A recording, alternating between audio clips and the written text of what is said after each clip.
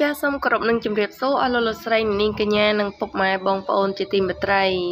ខណៈនេះដែរនាងខ្ញុំមានអត្ថបទព័ត៌មានថ្មីមួយដែលមានចំណងជើងថាចិត្តគ្រប់ខែហើយនាងលើព្រិយានិងក្រុមគ្រួសារនាំគ្នាទៅដល់វត្តមួយដល់បន្ទាយមានជ័យដាក់ប៉ុន្មានប៉ុស្តិ៍នេះស្រស់ស្អាតណាស់ជាពិសេសអូនតែនតែនគឺ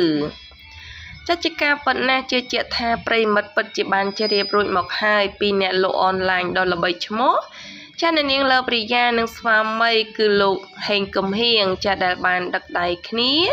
ចូលរោងការតាមប្រពៃណីបំពេញមុខបំពេញមាត់ចាជូនគ្រួសារតាំងពីថ្ងៃទី15ខែធ្នូឆ្នាំ2021មកម្លេះចាដោយមានការរៀបចំយ៉ាងអធិកអធមខ្លាំងចាជាពិសេសក៏ឃើញមានការចូលរួមយ៉ាងច្រើនកកកពីសំណាក់បណ្ដាសាច់ញាតិបងប្អូន ចាមិត្តភ័ក្តិនិងបុគ្គលល្បីៗជាច្រើនចូលរួមផងដែរចាជាស្ដែងផងដែរនោះបើទោះបីជានាងលើបរិយាធ្លាប់មានស្វាមីនិងកូនស្រីម្នាក់ដែលមានឈ្មោះថាតែនតែនចារួចមកហើយក្តីចាប៉ុន្តែស្វាមីចាអ្នកនាងពិតជាស្រឡាញ់ចាអ្នកនាងនឹងកូនខ្លាំងចាមើលថែទាំចាយកចិត្តទុកដាក់មិនឲ្យទាស់ចិត្តឡើយចាតែងតែឆ្លៀតពេលទំនេរពីការងារ ចានាំប្រពន្ធកូនដើរលេងកំសាន្តជារឿយរឿយចាអ្វីដែលកាន់តែពិសេសនោះពេលនេះអ្នកនាងលើព្រិយាក៏កំពុងពពោះកូនទី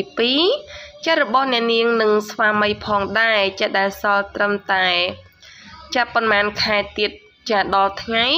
សម្រាលហើយធ្វើឲ្យចាស្វាមីអ្នកនាងចានឹងអ្នកគ្រប់ត្រចាកំពុងតែអន្ទះសារចង់ឃើញមុខកូនទី2 ចារបស់អ្នកនាងជាខ្លាំងចាយ៉ាងណាមិញ បើក្រឡេកមកមើលចានៅថ្ងៃទីចា24ខែកញ្ញាឆ្នាំ2022នេះ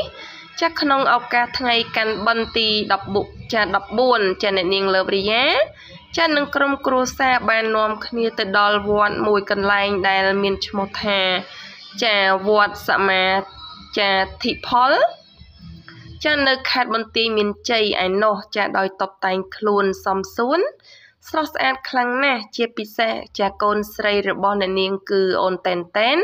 ចាតែងខ្លួនមិនចាញ់អ្នកម៉ាក់ឡើយចាឡើងគួរឲ្យស្រឡាញ់ចាតែម្ដងអមនឹងគ្រឿងអលង្ការពេញខ្លួនចានៅក្នុងនោះអ្នកនាងចាក៏បានភ្ជាប់សារមួយឃ្លាថា ចាបិណ្ឌ14ហើយទៅបានមកវត្តចាវត្តសមាធិផលខេត្តបន្ទាយមានជ័យជូនបុណ្យផងបងប្អូនទាំងអស់គ្នាចាចាតបតខ្លឹមសារព័ត៌មានខ្លីនេះខ្ញុំបានជម្រាបជូនសូមបញ្ចប់ត្រឹមនឹងចាសូមអរគុណសូមជម្រាបលា